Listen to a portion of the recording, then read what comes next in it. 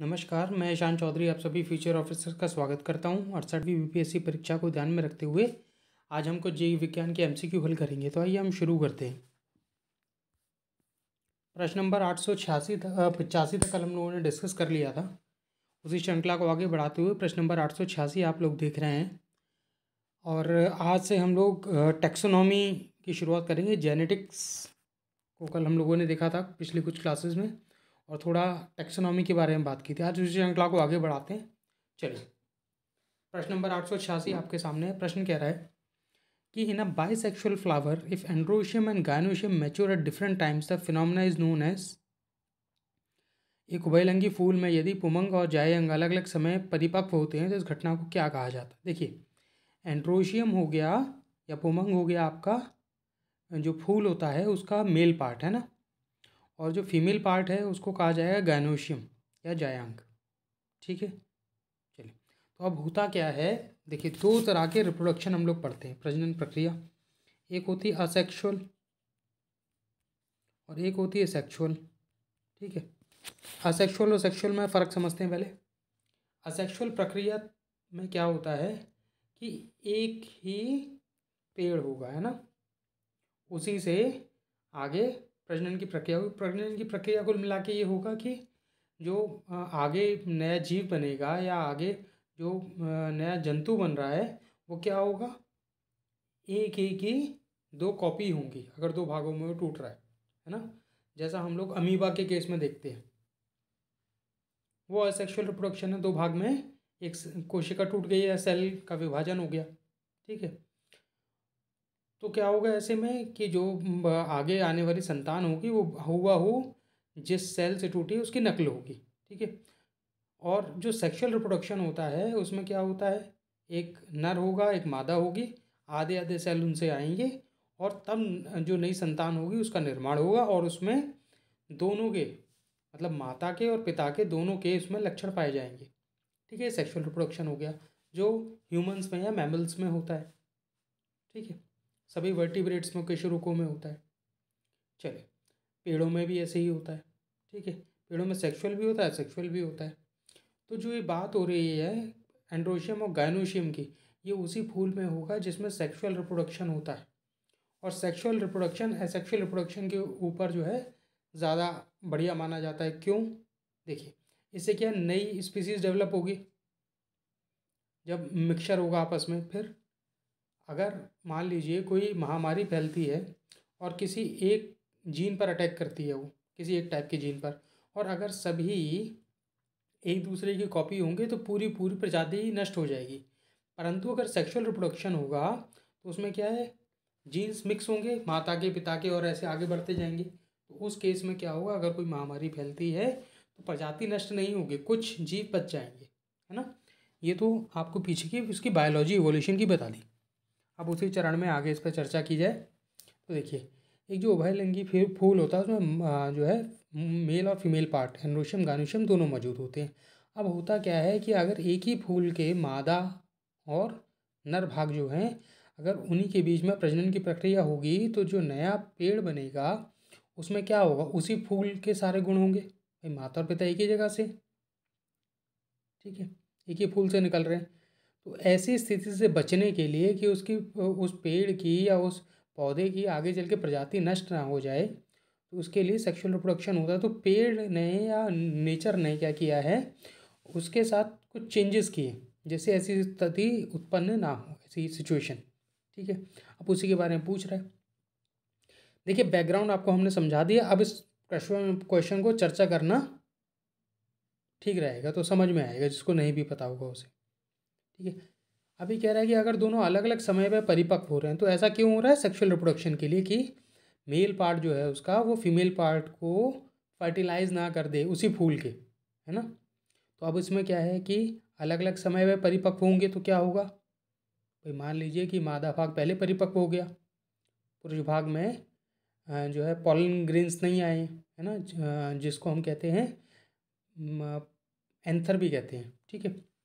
वो अभी डेवलप नहीं हुए हैं मेल पार्ट के ऊपर। जिसको पराग बोलते हैं फूल का हिंदी में। तो ऐसी स्थिति में क्या होगा, जब परागी विकसित नहीं होंगे तो वो जो फीमेल पार्ट है, जिसको हम लोग बोलते हैं पिस्टल उसके ऊपर, ये देखिए, यहाँ एक डायग्राम से समझते हैं। ये अगर इसका फीमेल पार्ट है और ऐसे फीमेल पार्ट बना रहता है फूल के तो ये भाग परिपक्व हो गया मैच्योर हो गया, ये नहीं हुए। तो जब इस पर पराग नहीं आएगा पॉलन ग्रेड नहीं आएगा तो रिप्रोडक्शन नहीं होगा। अब इसके रिप्रोडक्शन के लिए प्रजनन की प्रक्रिया के लिए क्या होगा? किसी दूसरे फूल से पराग लाना पड़ेगा। ऐसी स्थिति के बारे में पूछ रहा है। अब आपको नीचे चार अलग अलग स्थितियाँ दी हुई हैं। हेट्रोगैमी हर्कोगैमी डाइकोगैमी और मोनोगैमी देखिए, पहले तो मोनोगैमी नाम का कोई पॉलिनेशन की प्रक्रिया, परागण की प्रक्रिया नहीं होती। मोनोगैमी होता है, एक ही कुल में जब आपस में शादियाँ हो जाती नहीं, देखिए मोनोगैमी में एक ही व्यक्ति एक ही शादी करेगा, है ना?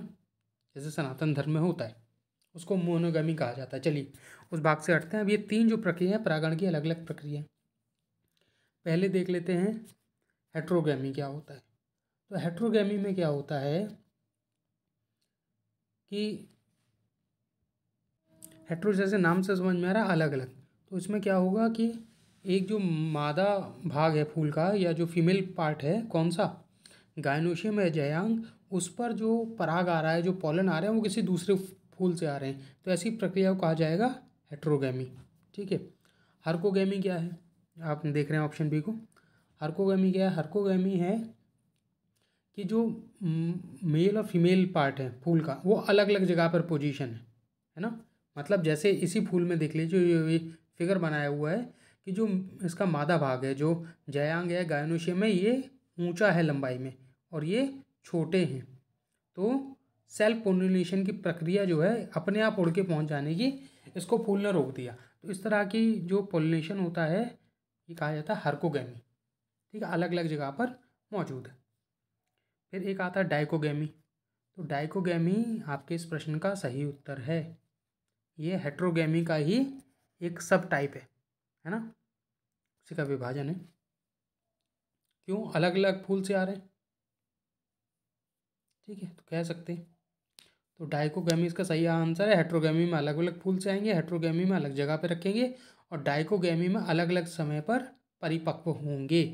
तो कुल मिला के उसी फूल से परागण नहीं होगा। कहने का तात्पर्य था। लंबे से समझ में आ गया होगा, आपको डिटेल में हमने समझा दिया है। आगे बढ़ते हैं। प्रश्न नंबर एट एटी सेवन आपके सामने प्रश्न प्रश्न पूछ रहा है। कि सेफरन इज़ डाइड मिक्सचर ऑफ़ जो केसर होता है, मसाले के तौर पर उत्पन्न जो हम लोग उपयोग करते हैं, वो किसका सुखाया हुआ मिश्रण है? क्या वो पंखुड़ी और छाल है? क्या वो फूल के बीज बनाने वाला भाग है? Seed forming part of flower क्या वो पत्ती और फल है? क्या वो बीज और कलियाँ हैं या उपरोक्त में से कोई नहीं? तो देखिए, केसर जो होता है, वो फूल के बीज बनाने वाला भाग है। अब फूल का बीज कौन बनाता है? तो बनाएगा कौन? एंड्रोशियम मतलब स्टेमिन ठीक है? जो फूल पर ऐसे पराग रहता है, इसको एंथर बोलते हैं और ये डंडी, इसको स्टेमन बोलते हैं। ठीक है? स्टेमन और पॉलन ग्रेन्स, इसको एंथर भी बोलते हैं। ये भाग जो होता है, ये केसर का सुखाया हुआ भाग होता है। ठीक है? चलिए, प्रश्न नंबर एट एटी सेवन का हमने सही उत्तर देखा, ऑप्शन बी। आगे बढ़ते हैं। रेशे ही तो होते हैं इसके, जो केसर के होते हैं, वो क्या रेशे ही तो हैं? देखे होंगे आपने। और देख लेते हैं। देखिए, इसके केसर की खेती ना मुख्यतः कश्मीर में होती है और जम्मू कश्मीर भारत का वो राज्य है जहाँ सबसे ज़्यादा केसर का उत्पादन होता है। और यहाँ एक तरह की मिट्टी पाई जाती है जिसको बोलते हैं करेवा। है ना? हिंदी में भी करेवा ही करेंगे। तो ये कैसी मिट्टी है? ये घाटियों में पाई जाने वाली एक मिट्टी है जहाँ पर ये केसर की खेती होती है। छोटा पौधा होता है केसर का। ठीक है? चलिए, आगे बढ़ते हैं। प्रश्न नंबर एट एटी एट आपके सामने है। प्रश्न पूछ रहा, द लार्जेस्ट इनवर्टिब्रेट इज़ सबसे बड़ा अकेशुई केशुरिकीय कौन है? है ना? अब वही होगा जिसमें रीढ़ की हड्डी नहीं पाई जाएगी। वो इन्वर्टिब्रेट कहलाएगा अकेशुरिकीय। ठीक है, आपके ऑप्शन दिए हुए हैं स्क्विड ऑप्शन बी कह रहा है शार्क मछली। ऑप्शन सी कह रहा है ऑक्टोपस है ना? ऑप्शन डी कह रहा है जेली फ़िश उपरोक्त में से कोई नहीं, एक से अधिक। तो देखिए अब इसमें से अगर विभाजन करना शुरू करें तो जो शार्क मछली है ना, ये ख़त्म हो जाएगी। क्यों? क्योंकि ये केशरूक है, वर्टिब्रेट है। ठीक है? ये तो ख़त्म हो गई। अब बच गया स्क्विड ऑक्टोपस और जेलीफिश ठीक है? तो इसका सही उत्तर होगा स्क्विड जो स्क्विड होता है, वो एक प्रकार की मछली तो नहीं है, ये आएगी स्किड आएगी मोलस्का के भीतर। ठीक है? मोलस्का जो फाइलम होता है, उसके भीतर आएगी। ऑक्टोपस भी मोलस्का के भीतर आती है। ठीक है? आकार के मामले में स्क्विड सबसे बड़ी है। और अगर देखा जाए कि पानी का जीव सबसे बड़ा कौन है तो फिर वो हम लोग वेल मछली को बोलते हैं। और उसमें भी ब्लू वेल नीली जो वेल मछली होती है, उसको। ठीक है? चलिए, आगे बढ़ते हैं। प्रश्न नंबर एट एटी एट का देखा हमने, सही उत्तर ए हो जाएगा। और स्क्विड में भी ना एक रहती है जिसको बोलते हैं हम जाइंट स्क्विड वो सबसे बड़ा होता है। और इसकी लंबाई मीटरों में होती है छोटी मोटी मछली नहीं है ठीक है जाइंट स्क्विड होती है। विराट स्क्विड समझ लीजिए चलिए। प्रश्न नंबर एट एटी नाइन आपके सामने पूछ रहा है एपीफाइट्स ऐसे पौधे हैं जो अन्य पौधों पर निर्भर करते हैं किस चीज़ के लिए? मैकेनिकल सपोर्ट के लिए पानी के लिए भोजन के लिए छाया के लिए? देखिए यंत्री कलर टाइप ठीक है, अब ये मैकेनिकल सपोर्ट का मतलब अपने आप को सहारा देने के लिए, है ना? सहारे के लिए। तो यही इसका सही उत्तर है, सहारे के लिए होता है ऑप्शन ए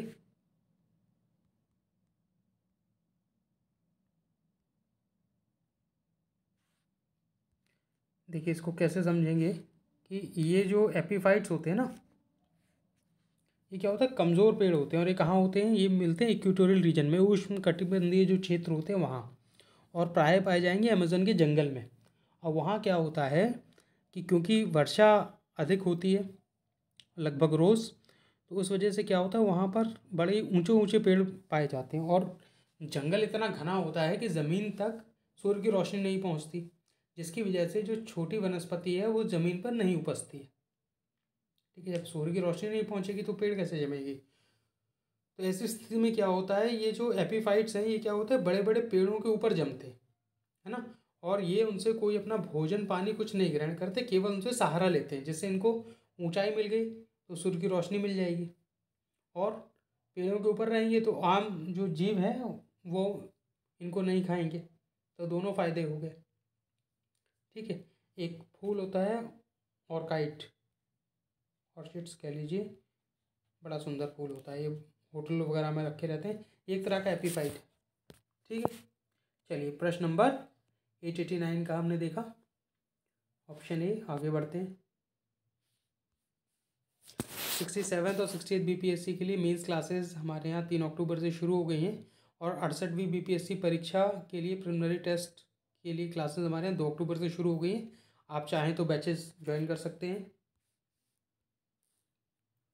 प्रश्न नंबर आठ सौ नब्बे आपके सामने है। प्रश्न नंबर आठ सौ नब्बे आपसे पूछ रहा है कि spiders are different from insects because they have मकड़ियाँ कीड़ों से भिन्न होती हैं क्योंकि उनमें क्या होते कितने पैर होते हैं, उसके आने पूछा।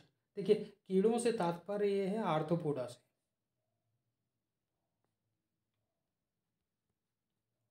आर्थोपोडा एक फाइलम है जिसमें सारे, इसको कहा जाता है कीट समूह है ना इंसेक्ट्स जितने भी हैं, वो इसी के भीतर आते हैं।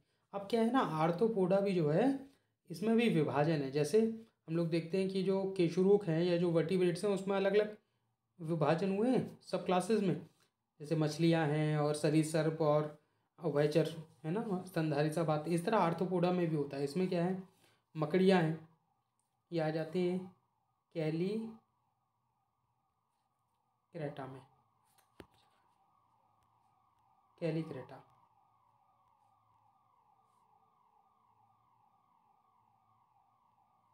ठीक है। अब इसमें क्या होता है, ये जो कैलिक्रेटा है, इसमें जो आती है मकड़ी, और मकड़ी के होते हैं आठ पैर, पहली बात। अब इसमें कैसे विभाजन होता है, एक तो ये मकड़ी वाला कैलिक्रेटा हो गया, एक हो गई कांतर, जो लंबी होती है, उसके ढेर सारे पैर होते हैं, एक वो विभाजन निकल गया। एक में आ गए आपके कॉकरोच, झिंगुर, ये सब, और एक में आ गए क्रस्टेशियंस बोलते हैं उनको, जिनके ऊपर एक कवच मौजूद होता है, जिसमें केकड़े और बिच्छू आते हैं, है ना? वो में आते हैं। तो ये चार विभाजन होते हैं आर्थोपोडा के अंदर। ठीक है? तो प्रश्न नंबर आठ सौ नब्बे का सही उत्तर हो गया। ऑप्शन ए, आठ पैर। और जो आम कीड़े होते हैं, उनमें पाए जाते हैं छः पैर। ठीक है? हाँ कॉकरोच को देख लीजिए छः पैर होते हैं। दो दो के तीन जोड़े होते हैं उसमें। ठीक है? प्रश्न नंबर आठ सौ नब्बे हमने देख लिया, आगे बढ़ते हैं। प्रश्न नंबर आठ सौ इक्यानवे आपके सामने ये पूछ रहा है to study meiosis in plants the best part would be पौधों में अर्धसूत्र विभाजन का अध्ययन करने के लिए अर्धसूत्र विभाजन का अध्ययन करने के लिए सबसे अच्छा कहाँ से देखा जा सकता है? देखिए, पहले मियोसिस को समझ लेते हैं। दो कोशिका विभाजन के ना सेल डिवीज़न के दो टाइप होते हैं। एक होता है मीटियोसिस दो क्या तीन होते हैं, है ना? बता देते मियोसिस हो गया। ई लगा लीजिएगा यहाँ। और एक और होता है, वो ए मीटियोसिस होता है, ठीक है? उसमें विभाजन नहीं होता तो उसको छोड़ देते हैं। देखिए मीटियोसिस की प्रक्रिया में क्या होता है, जो आगे बनने वाली संतान है, जिनको हम बोलते हैं डॉटर सेल ठीक है? डॉटर मतलब बेटियाँ। बेटियाँ इसलिए बोली जाती हैं क्योंकि एक ही अब मादा होती है उसी के दो भाग हो जाते हैं। ठीक है? तो उसमें क्या होता है जब एक ही आ, मादा होगी जिससे आ रहे हैं दो बच्चे जिसमें पिता का कोई रोल नहीं है तो ऐसी स्थिति में क्या होगा जो बच्चे होंगे वो हुबहू माता की नकल होंगे। पहली चीज़। दूसरा जितने क्रोमोजोम माता में थे उतने ही इन बच्चों में आएँगे पूरे पूरे है ना? तो अगर एक ये मादा है तो इससे दो बच्चे बनेंगे। अमीवा बड़ा अच्छा उदाहरण है इसका।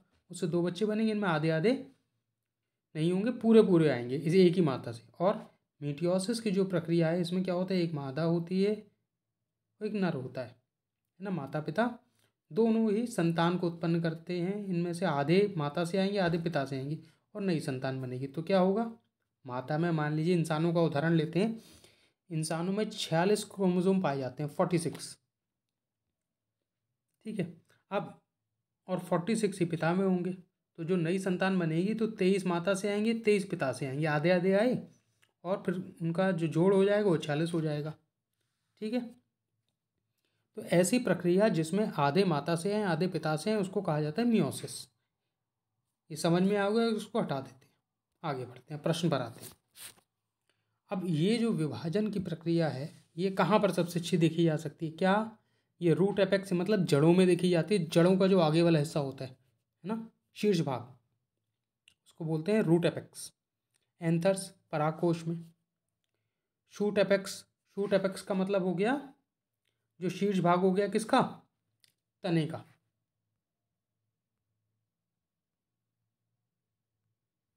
तने का जो शीर्ष भाग हो गया, वो हो गया। और ऑप्शन डी आपका कह रहा है स्टोमेटा या रंध्र, पत्ती के नीचे होते हैं। तो देखिए आपको केवल ये खोजना है कि प्रजनन की प्रक्रिया पेड़ में कहाँ होती है, किसी भी पौधे में। आपको सही उत्तर मिल जाएगा। तो परागकोश जो है, वो प्रजनन की प्रक्रिया में भाग लेता है। अभी हमने पीछे देखा। और वहीं मियोसिस की प्रक्रिया या अर्ध सूत्री विभाजन होगा, है ना?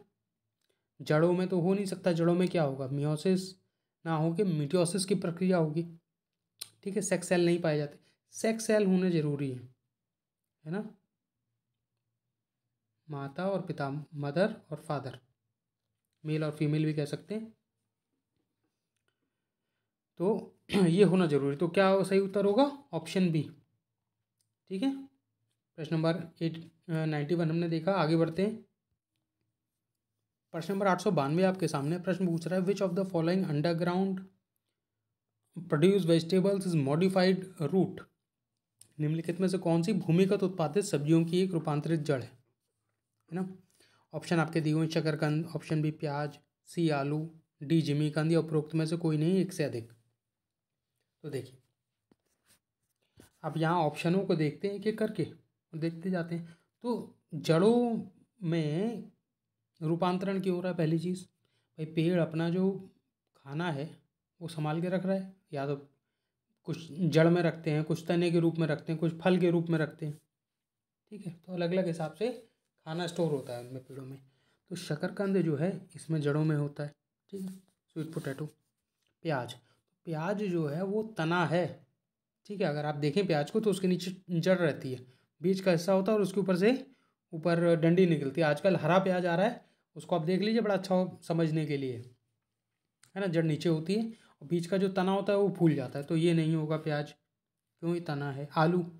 आलू के बारे में कल हम लोगों ने चर्चा की थी, क्या है कि आलू जो होता है उसको आप रख दीजिए।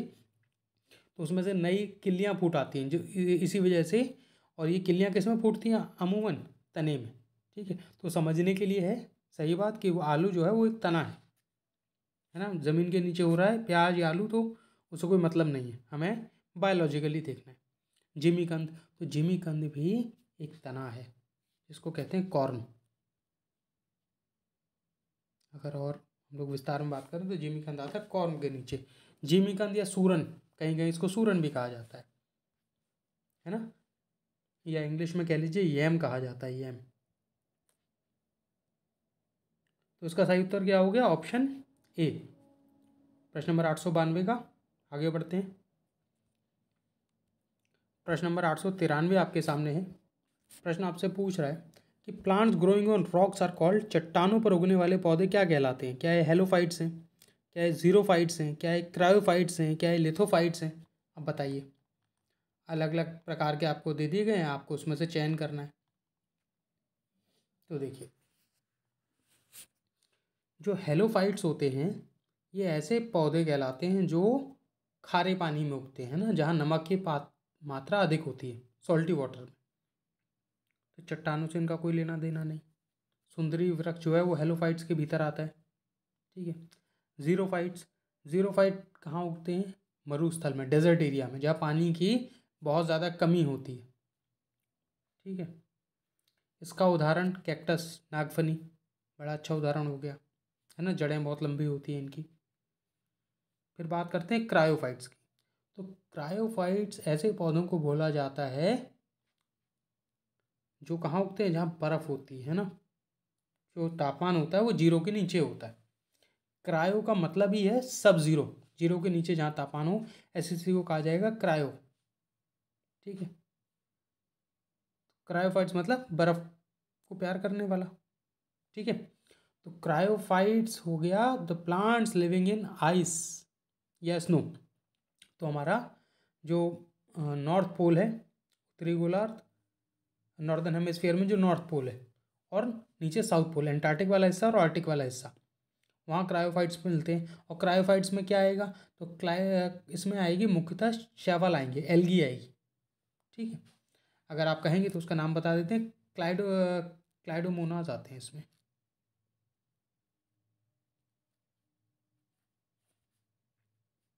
ये एक शवाल है।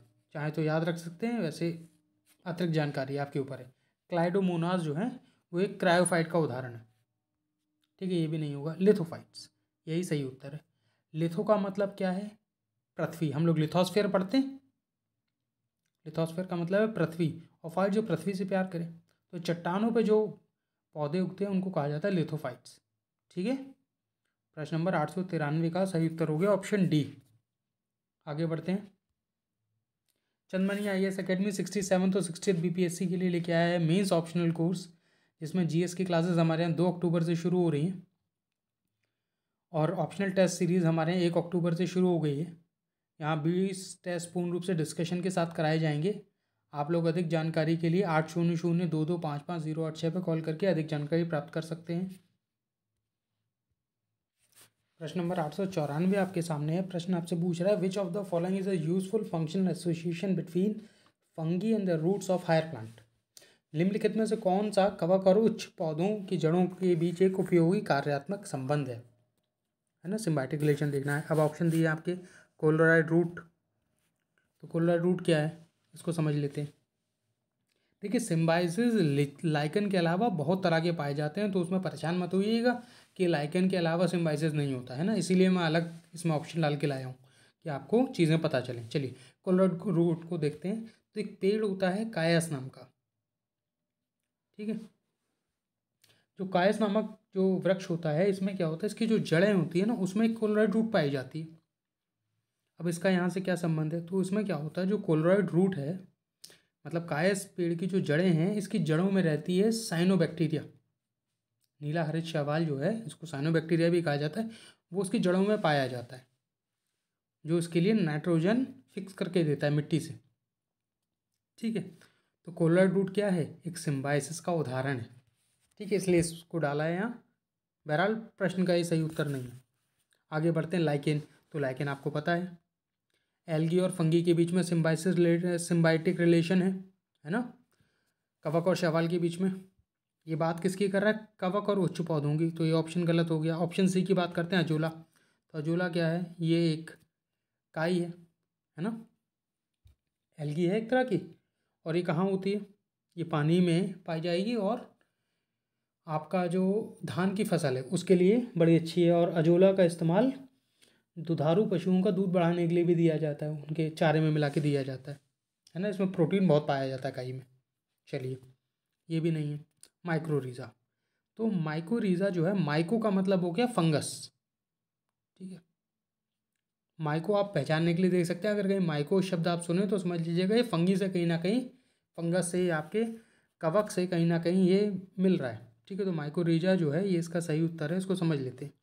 माइक्रोरीजा क्या होता है? बड़े बड़े पेड़ों की जड़ों में ये फंगस या कवक पाया जाता है। अब इसका क्या उपयोग है? भाई प्रकाश संश्लेषण की प्रक्रिया तो होती नहीं कवक में। तो क्या होता है, पेड़ जो है वो इस फंगस को या इस कवक को खाना और पानी उपलब्ध कराता है। अब सिम्बाइटिक रिलेशनशिप है तो ये भी तो कुछ देगा पीछे पेड़ को। तो क्या करता है, जो ये फंगस है, ये मिट्टी से पोषक तत्व निकाल कर पेड़ को देता है, जैसे फॉस्फोरस को निकाल के देगा। पानी भी सोख कर देता है पेड़ को, है ना तो पेड़ का भी फ़ायदा हो जाता है। ठीक है, प्रश्न नंबर आठ सौ चौरानवे का सही उत्तर क्या हो गया? Option D. आगे बढ़ते हैं।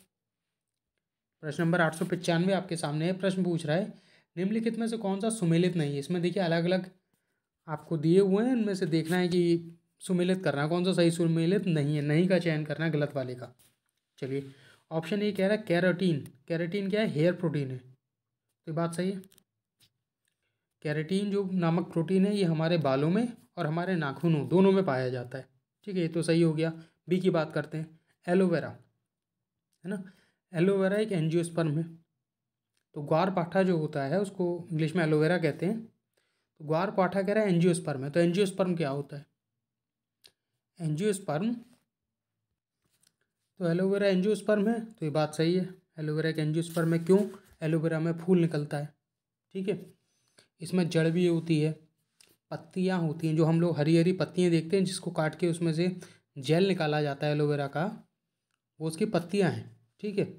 इसमें तना भी होता है जिससे पत्तियाँ निकलती हैं और फूल भी आता है तो उसमें सारे एंजियोस्पर्म के लक्षण पाए जाते हैं, इसलिए एंजियोस्पर्म। देखिए, एलोवेरा को ना फाउंटेन ऑफ़ यूथ भी कहा जाता है। फाउंटेन ऑफ़ यूथ या जवानी का फव्वारा, ठीक है? क्यों? इसको कहा जाता है कि इसको आप खाते रहिए तो आपके शरीर में तंदुरुस्ती बरकरार रहेगी, इसलिए इसको फाउंटेन ऑफ़ यूथ कहते हैं। चलिए, आगे बढ़ते हैं। खमीर खमीर में फर्मेंटेशन के लिए काम में आता है क्यूडन की प्रक्रिया में। सही बात है। आप इसको ईस्ट को लगा दीजिए, उसमें आटे में और आटा फूल जाएगा थोड़ी देर बाद। है ना? ये सही है। ब्रेड बनाने की प्रक्रिया ऐसी से होती है। ऑप्शन डी कह रहा है नेफ्थेनीज एक परजीवी एंजियोस्पर्म तो देखिए नेप्थेनीज होता है आपका पिचर प्लांट ठीक है? ये कैसा पौधा है? ये ऐसा पौधा है जो परजीवी नहीं है, मांसाहारी पौधा है, ठीक है कार्निवोरस प्लांट परजीवी हो गया कि दूसरे पर निर्भर करे पानी और खाने के लिए, और दूसरे पेड़ का नुकसान हो। ऐसी स्थिति को कहा जाता है परजीवी या पैरासाइटिक न्यूट्रिशन और ये क्या है? कार्निवोरस है। ये किसी पर निर्भर नहीं करता, अपना खाना स्वयं पकड़ता है, मक्खी को पकड़ेगा, पचा लेगा, है ना? तो ये गलत हो गया। गलत की खोज करनी थी, यही आपका सही उत्तर हो जाएगा प्रश्न नंबर आठ सौ पचानवे का। चलिए, आगे बढ़ते प्रश्न नंबर आठ सौ छियानवे आपके सामने है। प्रश्न पूछा है, निम्नलिखित में से कौन सा जंतु समूह रात्रिचर प्राणी है? नॉक्टर्नल एनिमल्स कौन सा है इनमें? आपके ऑप्शन दिए हुए मच्छर चमकादड़ उल्लू। ये सब बात सही है। अब ये मत कहिएगा कि मच्छर जो है, वो दिन में भी निकलता है डेंगू वाला। तो आमतौर पर जो मच्छर है, वो रात्रि में ही काटते हैं, दिन में अगर मच्छर आते हैं, ऐसा नहीं है। पर इनको रात्रिचर ही कहा जाता है ना नॉक्टर्नल एनिमल चमकादड़ और उल्लू पे तो कोई संशय नहीं। है चलिए ऑप्शन बी आपका क्या कह रहा है? कि मच्छर, गौरैया और श्रीव श्रीव एक तरह का चूहा हो गया। ठीक है? तो गौरैया जो होती है, चिड़िया, ये तो दिन में निकलती है है ना? अपना भोजन ग्रहण करती है तो ये होगा नहीं। सी ऑप्शन क्या कह रहा है? मक्खी, जो हमारे घर में आमतौर पर मिलती है। तितली और तोता। तो ये तीनों जो है रात्रिचर नहीं है नॉक्टर्नल नहीं है, दिन में दिखते हैं, ठीक है? ऑप्शन डी कह रहा है उल्लू, चमकादड़ और चील। तो देखिए, उल्लू और चमकादड़ तो रात्रिचर हैं नॉक्टर्नल एनिमल्स है पर जो चील है, ये दिन में शिकार करती है, जो ईगल है।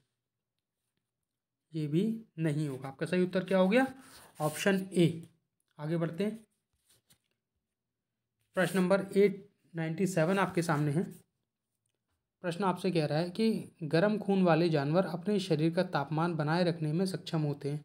क्यों? Warm blooded animals able to keep their body temperature मतलब क्यों नहीं? ये पूछ रहा है कि इनमें से आ, क्या है? तो क्या ऑप्शन क्या कह रहा है कि पर्यावरण से अधिक अपने शरीर का तापमान बना लेते भाई इंसान का जो शरीर है उसमें अमूमन सैंतीस डिग्री सेंटीग्रेड के आसपास तापमान होता है। है ना? तो पर्यावरण से अधिक मात्रा में हमारा टेम्परेचर बनता है तो देखिए ये तो गलत हो गया। भाई, अगर उत्तर भारत में ही देखा जाए अगर तो गर्मियों में पारा क्या, पैंतालीस डिग्री के ऊपर निकल जाता है? तो उस स्थिति में हमारे शरीर का तापमान तो पैंतालीस डिग्री नहीं होता, बुखार आ जाएगा। ठीक है तो ये तो गलत हो गया। भाई, गर्म खून वाले दो ही तरह के तो जीव हैं, या तो चिड़िया हैं, या हम लोग हैं। और गर्म खून वाला क्यों कहा जाता है, उसी को पूछा। दूसरा कह रहा है constant temperature all the time पूरे समय एक ही जैसा तापमान शरीर में बनाए रखते हैं। तो ये तो सही लग रहा है। ठीक है, ये थोड़ा ट्रांसलेशन में गलती होगी आप लोग इंग्लिश वाली साइड देख लीजिएगा। कांस्टेंट टेम्परेचर मतलब एक ही जैसा शरीर का तापमान बनाए रखते हैं हमेशा। ऑप्शन सी क्या कह रहा है? वायुमंडल तापमान के बराबर इक्वल टू एटमॉस्फेरिक टेम्परेचर तो ये भी वही बात हो गई एटमॉस्फेरिक टेम्परेचर और पर्यावरण वाला कह रहा है, वहाँ ज़्यादा ये कह रहा है कि तापमान के बराबर तो ऐसा भी नहीं है। है ना, पैंतालीस डिग्री वाला से ही उदाहरण समझे तो ये भी गलत हो जाएगा। डी क्या कह रहा है? पर्यावरण से कम तो वहाँ भी ये उदाहरण आप देख लीजिए, सैंतालीस और पैंतालीस वाला, इससे सारे ऑप्शन गलत हो जाएँगे एक एक करके, पर्यावरण से कम तो ऐसा भी नहीं ऑप्शन बी होगा, हमेशा एक जैसा तापमान बना के रखते हैं और ये कैसे होता है? क्यों सरीसर उभयचर जो है, वो ठंडे खून वाले जानवर बोले जाते हैं कोल्ड ब्लडेड एनिमल और जो मनुष्य हो ये आपके जितने भी स्तनधारी हो गए, जिसमें मनुष्य भी आता है और जितनी भी चिड़िया हो गई, इनको गर्म खून वाला जानवर कहा जाता है। कारण? क्योंकि इनमें पाई जाती हैं क्या? पसीने की ग्रंथियाँ स्वेट ग्लैंड्स जो शरीर के तापमान को काबू करके रखती है ना? इसीलिए हम लोग शीत निंद्रा में नहीं जाते। जैसे उभयचर और तरफ़ चले जाते हैं। ठीक है तो उसका सही उत्तर होगा ऑप्शन बी आगे बढ़ते हैं। Chandmani I S academy B P S C sixty के लिए लेके आया है क्लास और टेस्ट सीरीज़ जिसमें जी एस की टेस्ट और क्लास सीरीज़ हमारे यहाँ दो अक्टूबर से शुरू हो गई है और यहाँ इकतालीस टेस्ट पूर्ण रूप से डिस्कशन के साथ कराए जाएँगे। आप लोग अधिक जानकारी के लिए आठ शून्य शून्य दो दो पाँच पाँच ज़ीरो आठ छः पे कॉल करके अधिक जानकारी प्राप्त कर सकते हैं। प्रश्न नंबर आठ सौ अट्ठानवे आपके सामने है। प्रश्न देखिए आपसे क्या पूछ रहा है कि which of the following is an insectivorous plant आपको इसमें से मांसाहारी पौधे हैं या कीट भक्षी पौधा कह लीजिए, उसका चयन करना है। ठीक है, आपके ऑप्शन क्या क्या दिए हुए? पहला दिया हुआ पिचर प्लांट, दूसरा दिया हुआ बटरवर्ट ऑप्शन सी दिया हुआ वीनस फ्लाई ट्रैप और ऑप्शन डी दिया हुआ कोबरा लिली उपरोक्त में से कोई नहीं, एक से अधिक। तो कीट भक्षी पौधा इनमें से कौन सा है? तो देखिए इसका सही उत्तर है ये सभी कीट भक्षी माफ़ कीजिएगा, ये सभी जो है ना, ये कीट भक्षी कैसे? ये ऑप्शन है ना, सारे कीट भक्षी कैसे? ये देख लेते हैं। तो पहले पेड़ को क्या ज़रूरत पड़ी कीट भक्षी होने की? धूप है, ज़मीन है, पानी है, क्या ज़रूरत पड़ी? तो देखिए, ये पौधे आमतौर पर ऐसी जगह उगते हैं जहाँ मिट्टी में पोषक तत्वों की कमी रहती है। और कुल मिला के कौन से की? नाइट्रोजन की। ठीक? ये अम्लीय मिट्टी में जो एसिडिक सॉइल्स होती है, वहाँ पाए जाते हैं और नाइट्रोजन की जो कमी है, उसको पूरा करने के लिए ऐसे जो पौधे हैं, वो कीट भक्षी होते हैं। मतलब जो छोटे छोटे कीड़े होते हैं, उनको पकड़ लेते हैं और अपने नाइट्रोजन की कमी पूरी कर लेते हैं। अब जैसे पिचर प्लांट है तो पिचर प्लांट में क्या होता है कि एक तरह का आप समझ लीजिए, इसकी पत्ती जो होती है ना, वो एक मर्तबान का या पिचर का रूप ले लेती है पिचर का मतलब होता है मटका। उसमें क्या रहता है, कुछ तरल पदार्थ होता है लिक्विड भरा रहता है और ये चिपचिपा होता है। जैसे ही इस पर कोई भी कीड़ा आके बैठता है इसके किनारे, वो फिसल कर अंदर गिर जाता है और उसमें फंस जाता है। उसके बाद इसका ढक्कन बंद हो जाता है ऊपर से और ये उसको धीमे धीमे उसी वो जो तरल पदार्थ है, वो उस कीड़े को पचा लेता है। ठीक है, ये तो हो गया पिचर प्लांट आपका। बटरवर्ट तो बटरवर्ट में क्या होता है ना एक बीच में फूल होता है, उसके चारों तरफ़ रहती हैं हरी हरी पत्तियाँ। और ये जो पत्तियाँ होती हैं, इन पर रहता है चिपचिपा पदार्थ। जो फूल होता है वो कीड़ों को अट्रैक्ट करता है, और जैसे कीड़ा उड़ के इसके पास आता है तो ये पत्तियों में चिपक जाता है, और फिर उसी तरल पदार्थ में धीमे धीमे पचा लिया जाता है। Venus fly trap Venus fly trap को आप समझ लीजिए, दो जबड़े होते हैं बड़े बड़े जैसे कीड़ा उसमें बैठता है, जबड़ा झट से बंद हो जाता है। है ना? कोबरा लिली तो कोबरा लिली भी ना एक तरह का पिचर प्लांट ही है है ना? इसी की वैरायटी है। ये आमतौर पर मिलता है कोबरा लिली कैलिफ़ोर्निया में, अमेरिका में। ठीक है? चारों ही सही इसके हैं, वो बता ही दिया।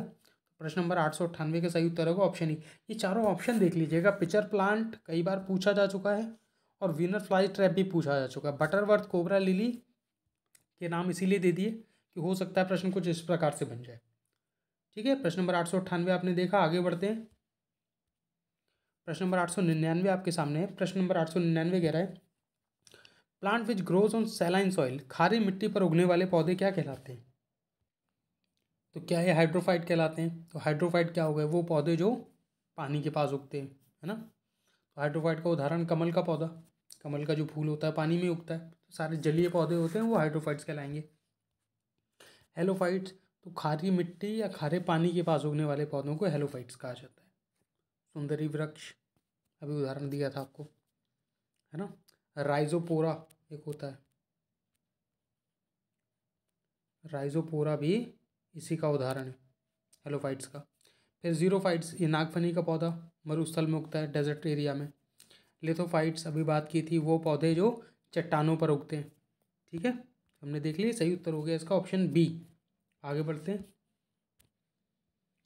प्रश्न नंबर नौ सौ आपके सामने है। प्रश्न पूछ रहा है, cork is obtained from which of the following? Core निम्नलिखित में से पौधे, किस पौधे से प्राप्त होता है? कॉर क्या होता है? पहले ज़माने में क्या था ना, जो बोतलें थी, उसमें ढक्कन वाला सिस्टम नहीं आता तो जो आजकल हम लोग देखते हैं कि इसमें आप ढक्कन को घुमा के बंद कर लेते हैं तो उस समय ईजाद नहीं हुआ था मेटल का। तौर पर अब तो प्लास्टिक के भी ढक्कन आने लगे हैं। कुछ समय पहले तक एलुमिनियम के बने होते थे ढक्कन। ठीक है तो पहले के ज़माने में क्या होता बोतल को बंद करने के लिए कौर का इस्तेमाल होता था। आप लोगों ने बचपन में शायद देखा हो, दवाइयों की दुकान पर जो मल्लम वगैरह थी, वो कांच के शीशों बंद करके ऊपर से लगा दी जाती थी ठोक कर ठीक है तो कॉर्क का इस्तेमाल शुरू हुआ कहाँ से? जहाँ पर वाइन बनती थी, इटली और मेडिटेरियन के इलाके में, है ना? जहाँ वाइन बनती तो वाइन की शराब को बंद करने के लिए कॉर्क का जादू चलिए, ये तो उसके पीछे की कहानी हो गई। तो अब ये किससे उत्पन्न होता? है तो ज़ाहिर सी बात है, ये कुछ ऐसे पेड़ से उत्पन्न होगा, जो उस इलाके में पाए जाएँगे। अब ऐसा तो है नहीं कि शराब बन रही इटली में और कॉर्क आ रहा है जो है भारत से। वो जिस ज़माने की मैं बात कर रहा हूँ, उस समय तो ट्रांसपोर्टेशन की भी सुविधाएँ इतनी अच्छी नहीं थी। आजकल तो हवाई जहाज़ हैं, उस समय तो पानी के जहाज़ भी दो ढाई महीना ले लेते थे। चलिए, वापस आते हैं प्रश्न पर। तो देवदार या सीडर का पेड़ या ओक का पेड़? ओक, है ना? सी हो गया आपका इंडियन रोजवुड ऑप्शन डी एर्गो एर्गेमोन ठीक है? या उपरोक्त में से कोई नहीं। तो देखिए, जो कॉर्क है, ये बनता है ओक वृक्ष से, है ना? ओक वृक्ष, ये इटली और उस इलाके में बहुत आयत में पाए जाते हैं। उन्हीं की जो तना है, उसी से बनता है ये ओक, तने की लकड़ी से, ठीक है? बात कर लेते हैं। देखिए, इसमें एक ऑप्शन बड़ा अच्छा है, ये एर्गीमोन ये मैंने जानबूझ के डाला था। एर्गीमोन क्या होता है ना? ये कोई पेड़ जो है, बहुत बड़ा वृक्ष नहीं है। ये कांटेदार छोटा सा छोट पौधा है, जो आपको मिल जाएगा जहाँ खेत के आसपास है ना? ये एक तरह का वीड है। वीड से मतलब जंगली पौधा है, और कांटेदार होता है। और इसको बोलते हैं, दूसरा नाम है इसका इंडियन पॉपी इंडियन पॉपी भी बोलते हैं। और देखिए इसका इस्तेमाल कहाँ होता है? जो हमारे यहाँ सरसों का तेल आता है तो सरसों का जो दाना होता है, वो और एर्गेमोन, इसका जो दाना होता है दोनों देखने में एक जैसे होते हैं बिल्कुल, है ना? आप अंतर नहीं कर सकते अगर दोनों को रख दिया जाए। तो ये मिलावट के लिए डाला जाता है सरसों के जो दाने के साथ। और ये बड़ा घातक होता है शरीर के लिए। ज़्यादा मात्रा में कंज्यूम करने से ये किडनी को या आपके गुर्दों को ख़राब कर देता है। ठीक है? इसलिए मैंने डाला था कि चलिए एक आपको एडिशनल इन्फॉर्मेशन पता चले। प्रश्न नंबर नौ सौ का देखा हमने, सही उत्तर हो गया ऑप्शन बी आगे बढ़ते हैं। प्रश्न नंबर नौ सौ एक आपके सामने है। प्रश्न नंबर नौ सौ एक पूछ रहा है, quinine was use for the treating of malaria ठीक है? And the synthetic drug which replace the natural product is देखिए, हमें पता है कि जो कुनैन है, वो किससे? सिनकोना का एक पेड़ होता है, उसकी छाल से मिलती है। ठीक है? और सिनकोना का जब पेड़ है तो फिर नेचुरल प्रोडक्ट हो गया, ठीक है? क्विनिन का उपयोग मलेरिया के इलाज के लिए किया जाता है। प्राकृतिक उत्पाद को स्थापित करने के लिए सिंथेटिक दवा कौन सी है इनमें से? अब हो क्या रहा है कि सिंकोना का पेड़ अब इतने रहे नहीं, डिमांड ज़्यादा है तो कहीं ना कहीं सिंथेटिक ड्रग बना लिए सस्ता भी पड़ेगा और बहुतायत में बनाया जा सकता है। आपके ऑप्शन क्या क्या दिए हुए इसमें ऑप्शन दिया chloroquine, option B tetracycline option D ampicillin, option D chloromycetin या ई उपरोक्त में से कोई नहीं। तो देखिए, पहली चीज़ मलेरिया मलेरिया होता है प्रोटोजुआ से है ना? मच्छर लेके जाते हैं और प्रोटोजुआ का नाम क्या प्लास्मोडियम। प्लास्मोडियम नामक प्रोटोजुआ से मलेरिया होता है। ठीक है, ये तो हमने समझ लिया। और कोनैन उसके मलेरिया से के इलाज में दी जाती थी, ये भी बात समझ में आ गई। एक ये प्राकृतिक उत्पाद है, ये बात पता चल गई। ठीक है, आपको एडिशनल इन्फॉर्मेशन पता चल गई, अब इस प्रश्न पर आते हैं। तो अभी कोविड के दौरान आप लोगों ने सुना होगा एक दवाई का नाम, जिसको कहते हैं क्लोरोक्विनिन है ना? क्लोरोक्विन की दवा होती है मलेरिया के लिए। ठीक है, ये मलेरिया पेशेंट्स को दी जाती है और अभी कोविड में जो बहुत ज़्यादा बुखार आ रहा था, उस टाइम इस दवा का प्रयोग हुआ। साथ ही साथ भारत ने ये कई देशों को भेजी भी। और यही इसका सही उत्तर है। ये बात हमें पता चल गई। अब बाकियों पर चर्चा कर लें। टेट्रासाइलिन क्या है? तो टेट्रासाइलिन जो है, एक तरह की एंटीबायोटिक है। और एंटीबायोटिक का मुख्य होता है बैक्टीरिया को रोकने के लिए। ठीक है? तो टेट्रासाइलिन दी जाती है निमोनिया के लिए। है ना? किसी व्यक्ति को निमोनिया हो गया तो इस, इसका इस्तेमाल करते हैं टेट्रासाइलिन का। ठीक है? ऑप्शन सी कह रहा है एम्पीसाइलिन तो एम्पीसिलिन जो है, ये एक तरह की पेंसिलिन है है ना? पेंसिलिन का आविष्कार किसने किया था? लुइस पास्चर ने। ठीक है तो एम्पीसिलिन क्या है? पेंसिलिन है, एक तरह की एंटीबायोटिक है ये भी। ऑप्शन डी कह रहा है क्लोरोमाइटाइसिन, ये भी एक तरह की एंटीबायोटिक है। क्लोरोमाइटाइसिन का इस्तेमाल होता है प्लेग और कॉलरा का जो रोगी होता है उसके लिए। ठीक है? प्लेग और कॉलरा के रोगी के लिए क्लोरोमाइटाइसिन दी जाती है। तो प्रश्न नंबर नौ से एक का सही उत्तर क्या हो गया? ऑप्शन ए, बाकी पर हमने एडिशनल इन्फॉर्मेशन देख ली, आगे बढ़ते हैं। Chandmani I S academy sixty seven तो sixty B P S C परीक्षा के लिए लेके आया है मीन्स ऑप्शनल कोर्स जिसमें history geography P S I R philosophy L S W home science और सोशलॉजी की क्लासेस होंगी। और आप लोग अधिक जानकारी के लिए आठ शून्य शून्य दो दो पाँच पाँच ज़ीरो आठ छः पर फ़ोन करके अधिक जानकारी प्राप्त कर सकते हैं। प्रश्न नंबर नौ सौ दो आपके सामने प्रश्न पूछ रहा है। मूंगफली के पौधे जो है, क्या दिखाता है इसमें से? क्या वो पॉजिटिव जियोट्रॉफिक है, सकारात्मक जियोट्रॉफिक है, नकारात्मक जियोट्रॉफिक है? इसमें कोई जियोट्रॉफिज्म नहीं पाया जाता। या डी ज़मीन पर पार्श्व रूप से बढ़ता है grow laterally to the ground अब देखिए, समझते हैं जियोट्रॉफिक क्या होता है। जियो का मतलब है पृथ्वी और ट्रॉफिक हो गया ग्रोथ ठीक है?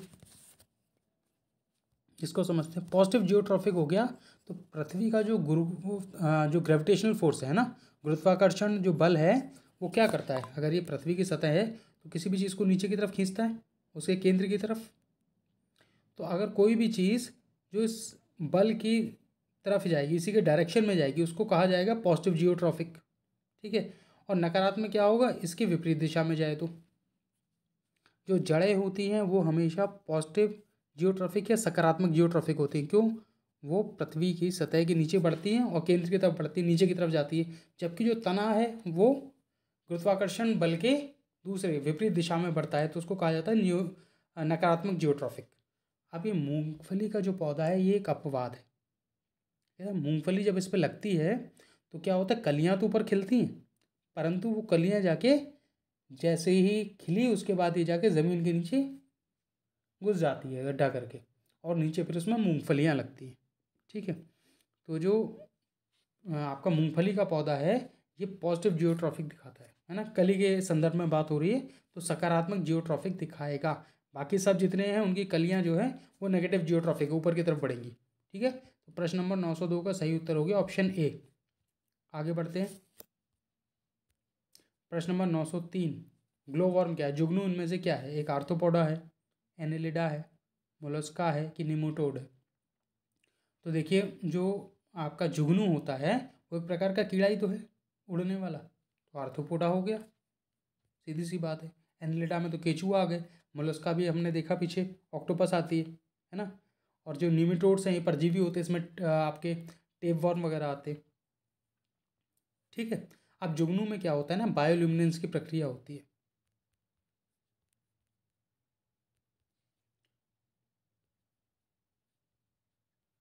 अब ये क्या होता है? ये सीधा सा है। बायो का मतलब जैव और लुमिनिसेंट मतलब चमकना, है ना? तो जैव मतलब जो जैविक तरीके से चमके उसको बायोल्यूमिनेसेंट कहते हैं। शब्द बड़ा अलग सा है, इसलिए यहाँ लिखती है केवल। प्रक्रिया वही है। जुगनू पहले तो बहुत आयत में दिखते थे गाँव देहात में, अब आजकल नहीं मिलते चलिए। प्रश्न नंबर नौ सौ तीन का सही उत्तर ऑप्शन ए हो गया। आगे बढ़ते हैं। प्रश्न नंबर नौ सौ चार आपके सामने है। प्रश्न पूछ रहा है कि निम्नलिखित में से कौन सा कथन सही नहीं है? तो आपको गलत कथन का चुनाव करना है। आपके ऑप्शन दिए हुए हैं, coral has no circulatory system. Coral में कोई परिसंचरण तंत्र नहीं होता, ये बात तो सही है। है ना, जो कोरल होते हैं, पानी के नीचे, वो क्या है? उनमें नहीं होता ना कोई भी परिसंचरण तंत्र। उनमें एक्सोस्केल्टन पाया जाता है, उनका जो कंकाल है, वो बाहर बाहरी होता है। ठीक है, और परिसंचरण तंत्र नहीं होता, पानी उनके आर पार जाता है, भरपूर मात्रा में। बात ठीक है। दूसरा क्या कह रहा है? In bony fish swim bladder is usually present ऐसी मछलियाँ जिनमें रीढ़ की हड्डी पाई जाती है, उनमें आमतौर पर स्विम ब्लैडर होता है। ये बात सही है। स्विम ब्लैडर का काम क्या होता है? उसमें हवा भर लेती है। ठीक है, उनको तैरने में मदद करता है। ये बात सही है। ऑप्शन सी क्या कह रहा है? ऑल इकाइनोडर्माटाज आर वीवी पैरस सभी इकाइनोडर्माटा जराजू होते हैं इकाइनोडर्माटा क्या होते हैं? जो आपकी सितारा मछली होती है स्टारफिश वो इकाइनोडर्माटा के नीचे के भीतर आती है और इकाइनोडर्माटा अमूमन पानी के नीचे पाए जाते हैं। ठीक है? अब वीवी पैरस क्या हो गया? वीवी पैरस या जरयुज, वो जीव होते हैं जो अपने बच्चों को पैदा करते हैं, ना कि अंडे देते हैं। जो अंडा देगा, वो अंडज कहलाएगा, है ना? अंडे से जो जन्मा, वो अंडज कहलाएगा, माफ़ कीजिएगा। तो जो ओवी पॉरस होते हैं, वो ऐसे जीव होते हैं जो अंडा देता है और फिर उस अंडे से कुछ दिन बाद उनके जो है, नए जीव का जन्म होता है। और विवी पैरस ऐसे जीव होते हैं जो सीधे अपने बच्चों को जन्म देते हैं, जैसे जितने भी स्तनधारी हो गए। तो इकानोडर्माटा जरयुज नहीं होते। है ना, ये ऑप्शन हो गया गलत। डी ऑप्शन क्या कह रहे हैं? डी ऑप्शन कह रहा है, मेढकों में निषेचन बाह्य होता है। ये बात सही। जो मेढक हो गए, उसमें क्या होता है? मादा और नर। दोनों का जो फर्टिलाइजेशन प्रक्रिया है जो निषेचन की प्रक्रिया वो बाहर होती है। मादा अपने जो एग्स हैं उनको पानी में छोड़ देती है और मेल के जो स्पम्स हैं वो उसके ऊपर रख दिए जाते हैं और फर्टिलाइजेशन पानी में होता है ठीक है? और फिर उसमें धीमे धीमे टेडपोल का निर्माण हो जाता है। बाकी अगर हम लोग स्तनधारियों की बात करें आप, आप जो है सरी सर्पों की बात करें आप चिड़िया की बात करें तो सब में फर्टिलाइजेशन की प्रक्रिया अं-, अंदर होती है। ठीक है? और कई मछलियों में भी फर्टिलाइजेशन अंदर होता है। ठीक है? तो ये बात सही है। गलत का चयन करना था ऑप्शन सी गलत है, आगे बढ़ते हैं। और यही सही उत्तर हो गया इसका। प्रश्न नंबर नौ सौ पाँच आपके सामने प्रश्न पूछ रहा है which of the following is not a mammal निम्नलिखित में से कौन स्तनपाई या स्तनधारी नहीं है? चलिए। आपके ऑप्शन दिए हुए समुद्री गाय, समुद्री घोड़ा, समुद्री शेर या चाइनीज़ सी डियर या चीनी समुद्री हिरण। तो देखिए, समुद्री गाय को बोलते हैं ड्यूगोंग।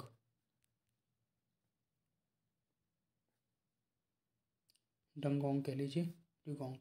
ठीक है? ये क्या है? स्तनधारी ये पानी में तैरता है और इस समुद्री घास खाता है, इसीलिए इसको समुद्री गाय कहा जाता है। हालाँकि गाय ऐसा दिखने में बिल्कुल नहीं होता। ठीक है? और ये हमारे यहाँ जो गल्फ़ ऑफ़ मन्नार है, तमिलनाडु के पास वाला क्षेत्र, वहाँ ये पाई जाती है।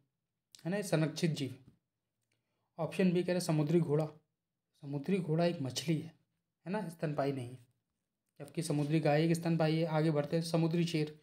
जो सी लाइन है, ये भी एक स्तनधारी है। ये आप एक बड़ी सील मछली समझ लीजिए। है ना, पानी के बाहर सांस लेता है और पानी में शिकार, मछली का शिकार करने के लिए उतरता है केवल। ठीक है? जबकि समुद्री गाय, ये पानी के अंदर रहती है, सांस लेने के लिए बाहर आती है केवल। ठीक है? ऑप्शन सी जो है समुद्री हिरण। तो समुद्री हिरण जो चाइनीज़ सी डियर है, ये कोई पानी में रहने वाला जीव नहीं है, ये एक प्रकार का हिरण ही है, जो समुद्र के आसपास तट पर जो घास उगती है, वो इसका मुख्य भोजन। चाइना में पाया जाता है और वहीं की जो वनस्पति है उसी के पास रहता है और उसी को खाता है। ठीक है तो ये चार पाया है। ठीक है, चीनी समुद्री हिरण। इसमें से स्तनपाई नहीं है कि खोज करनी थी ऑप्शन। बी सही हो गया, ठीक है? आगे बढ़ते हैं। चंदमनी आई एस अकेडमी अड़सठवीं बीपीएससी परीक्षा के लिए लेके आए क्लास और टेस्ट सीरीज़ यहाँ जीएस की क्लासेस हमारे यहाँ दो अक्टूबर से शुरू हो गई हैं। इकतालीस टेस्ट पूर्ण रूप से डिस्कशन के साथ कराए जाएँगे। आप लोग अधिक जानकारी के लिए आठ शून्य शून्य दो दो पाँच पाँच ज़ीरो आठ छः पे कॉल करके अधिक जानकारी प्राप्त कर सकते हैं। प्रश्न नंबर नौ सौ पाँच तक आज हम लोगों ने चर्चा कर ली है। कल हम लोग फिर हाजिर होंगे। सेक्शन वाइज जो हम लोगों ने अपने क्वेश्चन डिस्कशन की जो श्रृंखला है, इसको आगे बढ़ाएँगे। तब तक के लिए आप सभी का बहुत बहुत धन्यवाद।